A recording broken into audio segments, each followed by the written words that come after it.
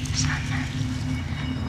I had been looking through the reflecting pelvic water, discovering the rumor.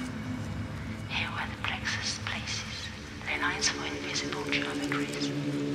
The lands were blown by the rain. Water lines ran across the high graces.